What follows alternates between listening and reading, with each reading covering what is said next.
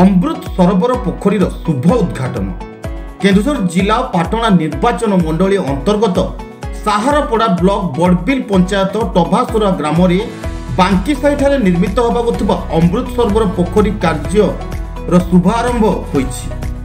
ଏହି ଅବସରରେ ସମିତି ସଭ୍ୟ ତଥା ବ୍ଲକ ଅଧ୍ୟକ୍ଷା ଶ୍ରୀମତୀ ରୀନା ନାୟକ ଏହି କାର୍ଯ୍ୟକ୍ରମରେ ମୁଖ୍ୟ ଅତିଥି ଭାବେ ଯୋଗ ଦେଇଥିବା ବେଳେ ବିଡିଓ ଲମ୍ବୋଦର ଖୁଣ୍ଟିଆ ଜିଲ୍ଲା ପରିଷଦ ସଭ୍ୟ ବୁଦ୍ଧଦେବ ମହାକୁଡ଼ বড়বিল পঞ্চায়েত সরপঞ্চ সুভদ্রা নায়ক উপস্থিত রয়েছে কেন্দুঝর পাটনার দশরথ বারিক রিপোর্ট তদন্ত নিউজ